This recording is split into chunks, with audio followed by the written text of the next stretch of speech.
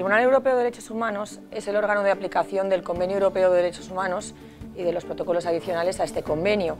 Y entonces es un tribunal que juzga a estados, a estados europeos. Los derechos que incluye son derechos civiles y políticos. Puede ser, por ejemplo, el derecho a la vida, el derecho a la integridad física, no ser sometido a tortura y otros tratos o penas inhumanos o degradantes, no ser sometido a esclavitud, el derecho también, por ejemplo, a no ser detenido ilegalmente, el derecho a un juicio justo, la vida privada y familiar, el derecho de reunión, la libertad de expresión. ¿Y con respecto a quién? Porque ¿a quién puede juzgar? Pues a, 47 estados que han ratificado este convenio. El Convenio Europeo de Derechos Humanos abarca a, a, estados de la gran Europa, podríamos decir. Está ahí Rusia, está Armenia, está Azerbaiyán, está Moldavia, está Serbia. La grandeza de este tribunal es que permita a personas particulares presentar una demanda contra cualquiera de los 47 estados que son parte del convenio. Hay que agotar previamente los recursos internos, pero una vez que se han agotado, tú puedes medirte contra un estado. Es una persona, un particular, el que se mide contra un estado. Esto no pasa en ninguna otra parte del mundo. Aquí no hay ningún órgano filtro,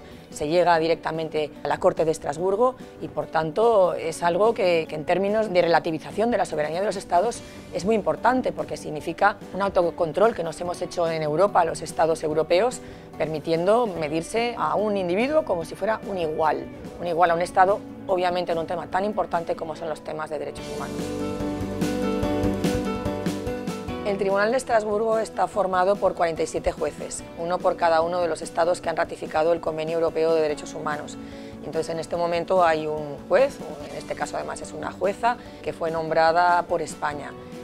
Lo que pasa es que el reglamento del tribunal también exige que haya jueces ad hoc para aquellos casos en los que el juez titular no pueda estar presente en algún asunto, para juzgar algún asunto, bien sea por incompatibilidad o por vacante, por enfermedad, por ausencia o por cualquier otra razón.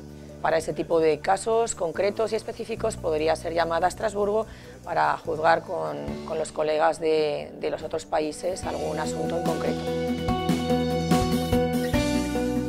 Para mí es un sueño hecho realidad, porque sinceramente es el tribunal al que más he admirado en toda mi, mi vida como investigadora, como científica.